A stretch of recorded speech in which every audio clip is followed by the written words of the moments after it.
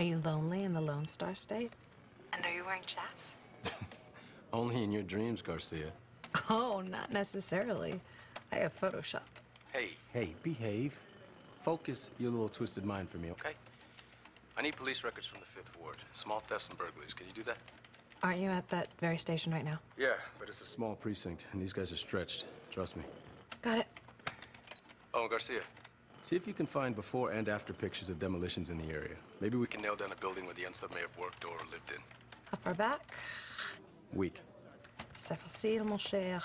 And Garcia? I better not ever find any Photoshop pictures of me. Oh, trust me, my vision. You will never find them.